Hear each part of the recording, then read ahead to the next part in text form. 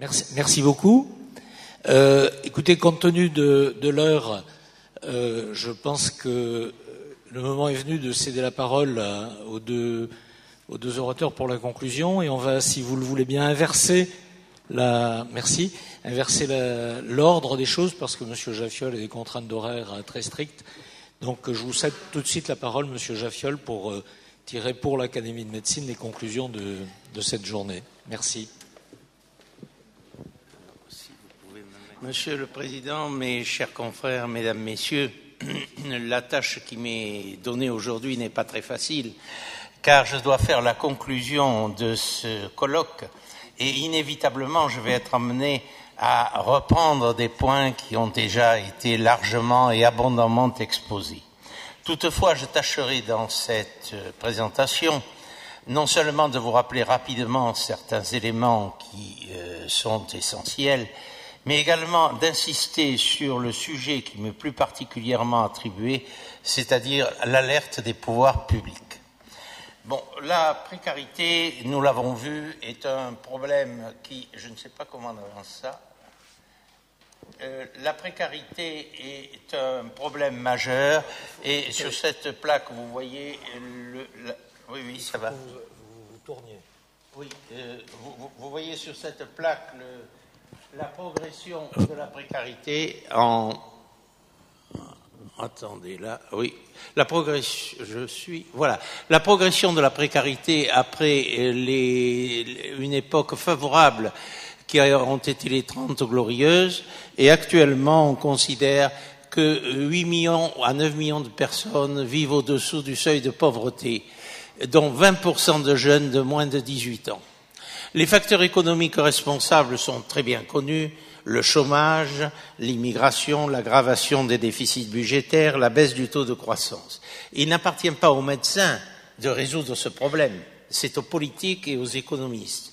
Et je crois qu'on peut saluer actuellement l'initiative faite pour encourager l'apprentissage pour lutter contre le chômage des jeunes. Les conséquences de la précarité sur la santé ont été abondamment étudiées. Je ne vais pas vous les détailler, je crois que ce serait inutile. Je rappellerai simplement qu'il y a de très nombreuses pathologies qui sont directement liées à la précarité, certaines organiques, infectieuses, parasitaires, on a signalé l'épidémie de Galles, la tuberculose, les conséquences métaboliques, obstétricales, la mauvaise prise en charge des femmes enceintes précaires, les addictions, etc. Le deuxième point, c'est que les dépenses de santé sont plus élevées que dans la population générale et seraient de l'ordre de plus de 25% selon des données de la Caisse nationale d'assurance maladie en raison d'une consommation supérieure de soins hospitaliers. Et 20% des plus grands consommateurs représentent 85% des, dépenses. Et malgré ces dépenses très importantes, eh bien, l'état de santé des, sujets en état de précarité est moins bon dans l'ensemble que celui de la population générale. Nous avons pour notre part, et je le rappelle rapidement, fait une enquête sur le diabète euh, dans la région francilienne avec le regretté professeur Guise, actuellement disparu. Et vous voyez sur cette plaque qu'il apparaît très nettement que dans les populations précaires, je pense faire, euh, je ne voudrais pas faire d'erreur dans le fonctionnement de ce, ce système, oui. Bon. C'est un peu compliqué, oui. Enfin, vous voyez à les colonnes de droite que les populations précaires. Ah, d'accord. D'accord, merci. Que les populations précaires ici présentent un taux de diabète beaucoup plus important que les non précaires, qu'il s'agisse d'hommes ou de femmes. Mais venons-en au point essentiel de mon exposé, c'est-à-dire les recommandations que l'on peut faire au pouvoir public. Eh bien, à l'occasion de cette étude, nous avons fait une analyse, car cela m'a paru très intéressant, cherchant à préciser le rôle des facteurs socio-économiques dans le mauvais équilibre du diabète. Et grâce à des méthodes statistiques appropriées, nous avons pu montrer que le mauvais équilibre du diabète était lié non pas tellement à des problèmes de prise en charge médicale, mais à des problèmes socio-économiques. Et c'est ça le message important de cette plaque, c'est-à-dire au degré de précarité, aux difficultés de logement, à l'insuffisance des ressources financières pour l'achat de nourriture, à la consommation réduite de légumes, à l'irrégularité des prix alimentaires. Et cette plaque est capitale euh, pour nous, car elle démontre de façon évidente que les problèmes socio-économiques et santé sont étroitement interdépendants, même dans une maladie comme le diabète. Et je crois qu'il faut souligner, et cela a déjà été dit ce matin, qu'il serait tout à fait illusoire de s'intéresser exclusivement à la santé et aux déterminants immédiats, aux facteurs immédiats de la santé, sans prendre activement en charge les problèmes socio-économiques. Et à partir de là, je crois que je vais aborder, euh, toujours dans l'optique des recommandations faites au pouvoir public, quatre thèmes. Premièrement, l'habitat, deuxièmement, l'alimentation, troisièmement, l'accès aux soins et quatrièmement, la prévention. les carences de l'habitat. Eh bien, les carences de l'habitat, nous l'avons vu dans notre étude, et c'est démontré, c'est un facteur très important de détérioration de la santé précaire des populations précaires. Qui, les exemples sont très nombreux. Si l'on remonte assez loin, euh, le saturnisme, l'amiante, les, habitats insalubres, euh, facilitant les maladies bronchopulmonaires, etc. Et j'en passe. Alors, quelles actions peut-on recommander au pouvoir public? Eh bien, je crois qu'il faut recommander le développement des logements sociaux. Mais recommander le développement des logements sociaux, est illusoire si ça ne s'accompagne pas euh, d'un ensemble dans lequel il y a des structures sportives, il y a des services économiques, il y a des services de santé. Et il faut absolument que ces logements sociaux ne reflètent plus ce qui se passait autrefois, c'est-à-dire la guéotisation des populations. Et le deuxième élément qui me paraît essentiel à recommander, c'est la mixité sociale. Je crois qu'en matière de logement, il y a deux points développer les logements sociaux avec tout autour les structures nécessaires et développer la mixité sociale. Deuxièmement, l'alimentation. Alors là, toutes les enquêtes confirment que chez les précaires, les choix alimentaires sont défavorables. Dans notre enquête que nous avions faite à Montpellier, une très large enquête dans la population précaire, nous avions constaté ce qui a été observé d'ailleurs dans d'autres études, une faible consommation de fruits, légumes, poissons, produits laitiers, une forte consommation d'aliments gras salés ou gras sucrés, l'abus d'alcool, l'excès de boissons sucrées chez les jeunes. Et je voudrais, en tant que spécialiste de nutrition, dénoncer les boissons sucrées qui sont trop abondamment utilisées et qui sont un grand facteur d'obésité et de diabète, la déstructuration des repas avec abus de l'alimentation rapide, qui est aussi une catastrophe chez les jeunes. Les conséquences sur la santé d'une alimentation déséquilibrée sont évidentes. Il y a des affections directement liées au déséquilibre alimentaire, l'obésité, le diabète, l'hypertension, les maladies cardiovasculaires, le retard du développement fœtal chez les femmes enceintes, le retard de croissance, les caries dentaires et j'en passe, et puis des affections indirectement liées, moindre résistance aux infections, cancer, troubles psychologiques. Alors, on peut se demander qu'est-ce qu'on peut faire? Eh bien, ce qui est fait par les associations est tout à fait remarquable, qu'il s'agisse de secours populaire, qu'il s'agisse des restaurants du cœur, l'aide alimentaire est apportée par ces associations et on ne peut, et je l'ai vu dans mon enquête, que féliciter tous ces, volontaires, tous ces bénévoles et cette magnifique organisation qui supplée les carences alimentaires des sujets. Mais il y a bien entendu des, souhaits qui ont été proférés, euh, car euh, dans l'enquête Abena, par exemple, les précaires demanderaient une diversification des produits, euh, une adaptation des colis et des repas aux habitudes culturelles, etc., etc. Mais le problème suivant, comment améliorer l'alimentation des précaires et quel peut être le rôle des pouvoirs publics, puisque je veux rester dans l'objectif qui m'a été fixé eh bien, je crois qu'il y a d'abord la lutte contre le gaspillage alimentaire. Le gaspillage alimentaire représente des milliards par an. Et quand on regarde quelles sont les causes du gaspillage alimentaire, il y en a trois. Il y a d'une part la grande distribution euh, qui est amenée à jeter des produits. Il y a d'autre part les particuliers également, les particuliers qui jettent des produits souvent euh, périmés. Et puis il y a surtout l'industrie euh, agroalimentaire. L'industrie agroalimentaire. Et donc, la lutte contre le gaspillage alimentaire est actuellement entreprise et je crois qu'on doit féliciter ceux qui, qui, ont engagé cette lutte. De même, je soulignerai l'importance de lutter pour les pouvoirs publics sur la publicité abusive en faveur des boissons sucrées et alcoolisées, l'intervention bien sûr auprès de l'industrie agroalimentaire, la création d'un étiquetage fiable, simple et compréhensible pour des gens qui sont illettrés.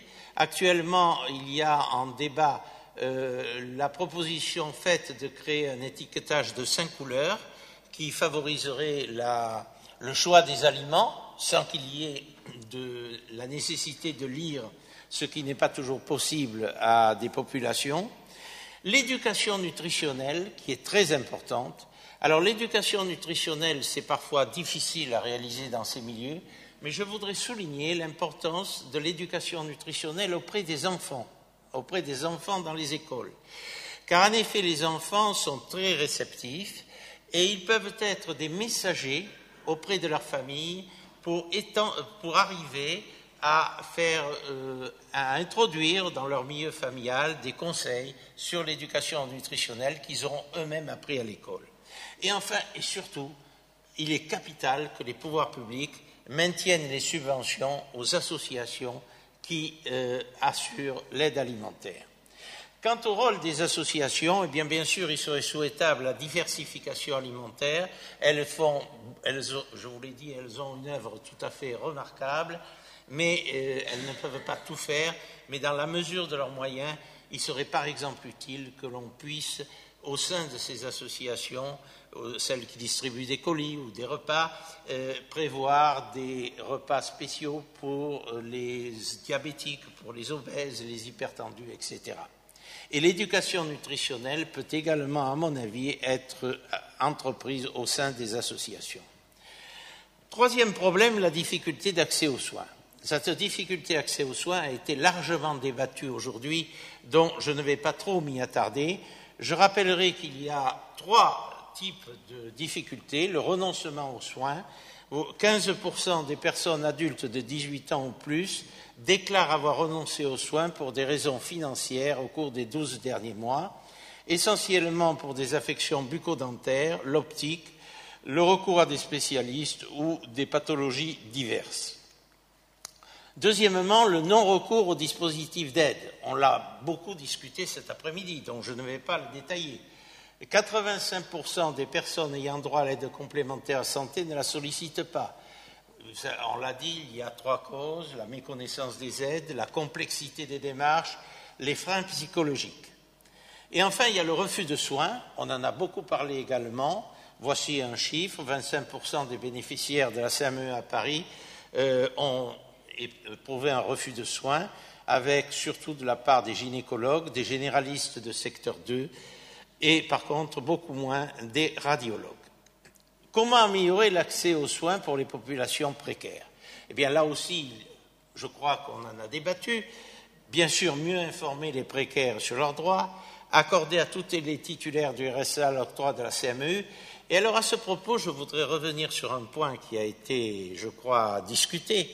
C'est que personnellement, je suis tout à fait d'accord avec une intervention qui a eu lieu dans l'Assemblée, car au départ, la sécurité sociale était universelle elle était universelle et ça me paraissait une solution équitable et la meilleure. Puis petit à petit, il y a eu euh, un saucissonnage et l'on voit actuellement la CME, la CMUC, les ACS, etc. Et l'on peut s'interroger sur la complexité de ce système et sur son coût administratif, qui est énorme.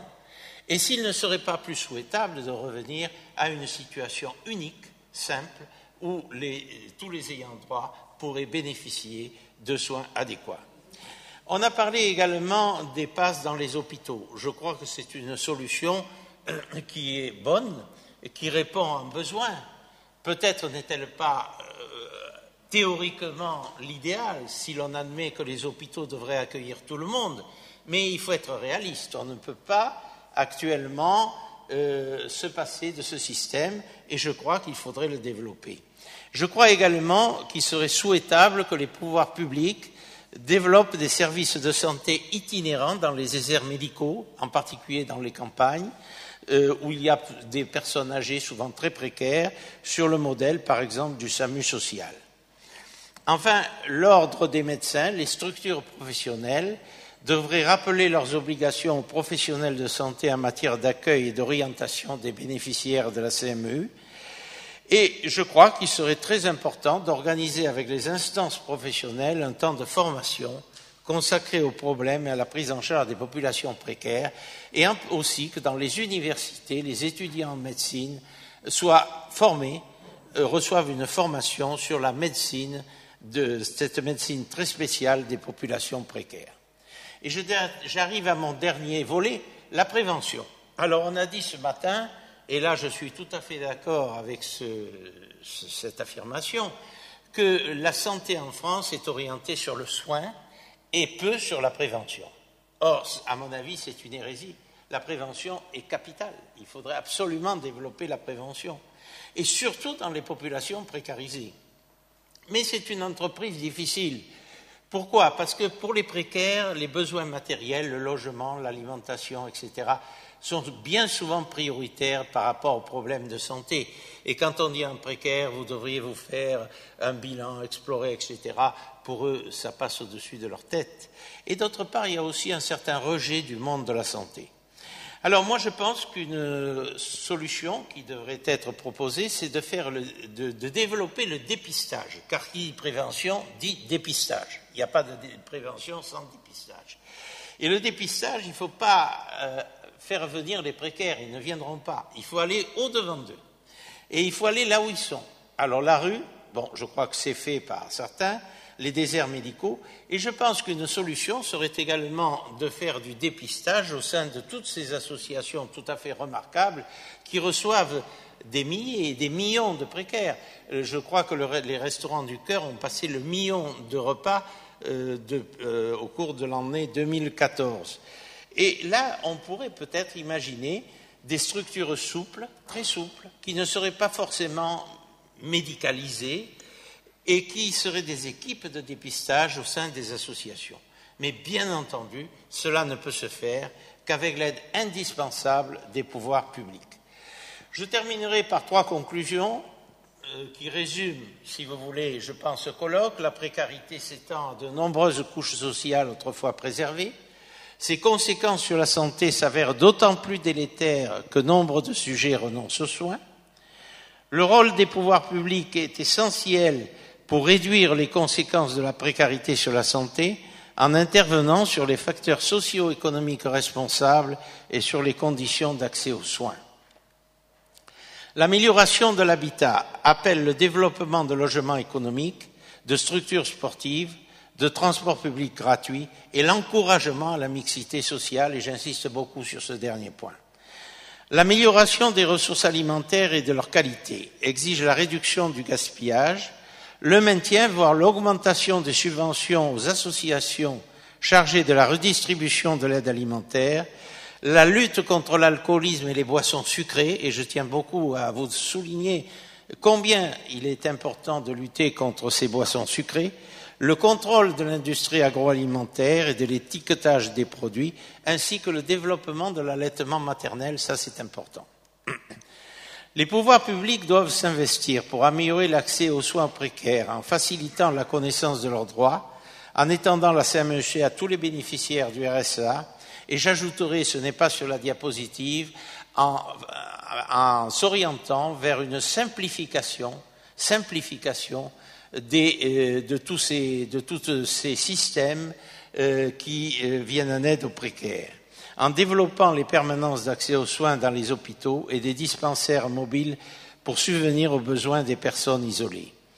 Quant à la prévention, eh bien la prévention est capitale à mon avis, absolument capitale, mais elle ne peut pas se faire si on ne la fait pas là où vivent les précaires, avec l'aide des associations qui doivent être subventionnées pour cet engagement. Et je crois que euh, cette, cette, phrase d'un d'un sociologue du XVIIIe siècle écossais Adam Smith reste toujours de valeur. Aucune société ne peut prospérer et être heureuse dans laquelle la plus grande partie de ses membres est pauvre et misérable. Je vous remercie.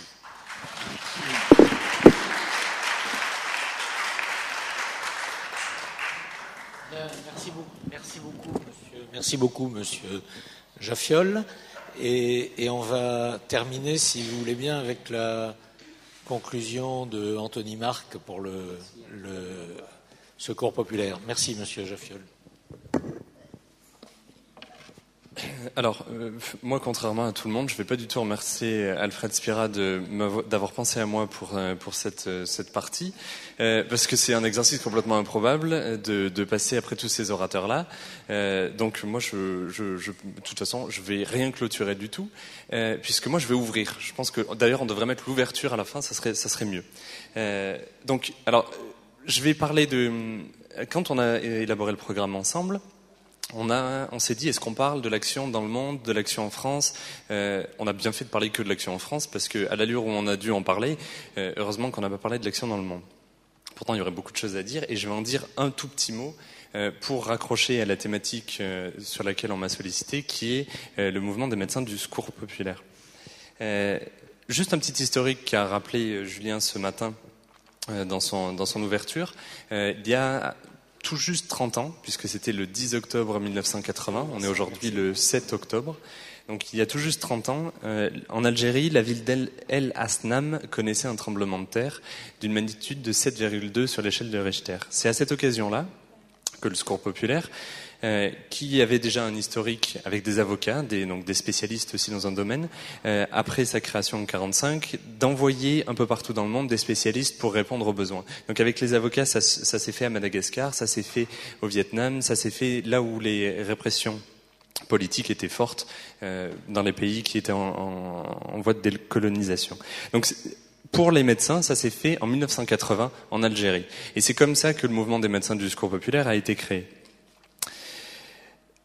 Pourtant, euh, près de 30 ans plus tard, euh, il est toujours d'actualité. Alors, peu de temps après, en 1987, le, mouvement a un petit peu évolué puisqu'on a créé, et on en a parlé tout à l'heure, avec deux, médecins, euh, Chantal Feuillade et Jacqueline de Chambrin, ont créé la charte des, des médecins du secours populaire pour accompagner ce mouvement-là. Alors, cette charte, qu'est-ce qu'elle dit? Vous l'avez, je crois, dans, les pochettes, mais vous, pourrez la lire de manière plus exhaustive. Mais ce qu'elle dit, trois points principaux, c'est permettre aux permanences d'accueil du secours populaire de bénéficier des compétences des médecins. Ça, c'est le premier point. Faciliter l'utilisation et l'accès au système de soins. Et le dernier, veiller à ce ce que toute urgence médicale ne fasse pas l'objet d'un refus. Véritablement, cette charte, elle est toujours d'actualité près de 30 ans plus tard. Donc on peut toujours s'appuyer dessus et c'est ce que l'on fait et je ne vais pas revenir dessus quand on voit les constats qui ont été faits tout au long de la, journée, le taux de renoncement aux, aux soins euh, qui sont en augmentation, les écarts d'espérance de vie entre les différentes catégories socioprofessionnelles mais aussi entre les différentes, euh, différents niveaux d'études. Euh, l'obésité, qu'est-ce qu'on le diabète, le suicide, enfin tout ce qu'on a évoqué pendant toute la journée, on voit que accompagner euh, aujourd'hui les personnes en situation de précarité, c'est toujours d'actualité. Malheureusement d'ailleurs. Euh, alors que nous, on était parti avec les médecins du secours sur une action internationale, et là, on le, on le, on le recentre pas, mais on axe aussi sur l'action en France. Donc véritablement, euh, c'est toujours un souci qui est d'actualité. Euh, tellement d'actualité qu'on a décidé, donc à notre congrès national qui aura lieu dans, deux mois, de mettre à l'ordre du jour la participation, l'implication, la mise en mouvement de l'ensemble des acteurs de la société pour euh, lutter contre la pauvreté et la précarité. Alors quand on passe à l'ensemble des acteurs, euh, nous, on y, met tout le monde dedans, que ce soit les donateurs, que ce soit les partenaires, que ce soit les bénévoles ou que ce soit, bien entendu, les personnes que l'on accueille qui ont toute une place à jouer et qui sont des acteurs à part entière. Elles ont juste besoin d'un coup de pouce pour révéler leurs compétences et, enfin, Nicole l'a dit, euh, je ne vais pas y revenir dessus, sur tous les talents que ces personnes ont qui sont cachés, qui ne demandent qu'à s'exprimer. Donc mettre en mouvement toutes les personnes qui font la solidarité, c'est le mouvement des médecins du secours populaire, c'est euh, cette charte-là. Alors qu'est-ce qu'on entend aujourd'hui par mouvement des médecins du secours pop? C'est pas juste des médecins euh, généralistes, c'est tout professionnel de santé. On en parle depuis ce matin. Euh, c'est tous les professionnels de santé qui peuvent agir, qui peuvent faire quelque chose, que ce soit, euh, je sais pas moi, des psychologues, que ce soit des dentistes, on en a parlé, En plus, on, a des exemples de dentistes qui s'engagent, euh, des infirmiers. On, a tout ce réseau-là qui font la force de l'action de solidarité que l'on mène en France et dans le monde pour intervenir auprès des personnes que l'on accompagne. Sur les, euh, je l'ai pas dit tout à l'heure, mais sur les, sur les exemples, on, le voit que la, la, pauvreté, la précarité se renforcent et augmentent. On a vu les, les différents témoignages avec les quatre personnes euh, qui ont témoigné. Euh, Quelqu'un a parlé avant moi de, de la précarité dans, dans, les situations de chômage. Sur les, sur les quatre personnes que vous avez vues, il y en a deux qui sont au chômage, deux qui sont en chantier d'insertion. Et pour m'occuper particulièrement de la partie des chantiers d'insertion au Secours Pop, je peux vous assurer que toutes les personnes qui sont en recherche d'emploi ont quasiment toutes un problème liés à la santé, qu'ils soient mineurs ou pas, mais elles ont tout un problème particulier. On voit Émilie dans les témoignages qui explique euh, qu'elle avait peur d'aller euh, d'aller consulter. Euh, alors c'est peut-être dû à les antécédents qu'elle a eus puisqu'elle était victime d'addiction. Donc une vraie peur d'aller consulter, une vraie peur de savoir ce qui va se passer. et si elle n'avait pas été accompagnée, si on lui avait pas donné un coup de pouce à un moment donné, elle n'y serait pas forcément allée, et, euh, et, donc avec toutes les conséquences négatives que l'on peut imaginer. Alors on peut se dire, elle, ok, c'est un cas marginal, euh, c'est une partie de la population bien à part. Sauf qu'après on voit Ghislaine. Et Ghislaine, elle, elle a travaillé toute sa vie. Elle était autant, autant pas auto-entrepreneur, elle était euh, coiffeuse. Coiffeuse, donc elle est margée au RSI, elle a, elle a euh, dû arrêter son activité, elle a essayé de se réorienter, elle le dit, après elle passe euh, à la sécurité sociale, et puis maintenant elle se retrouve à la MSA, enfin, elle le dit très bien, c'est tout un bordel pour arriver à s'en sortir. Elle, ce qu'elle dit, et les heures de rush qu'on a, on, enfin on en a des heures et des heures, et c'est vrai qu'on n'a pas pu tout passer, mais bon, on pourra peut-être le faire un autre jour.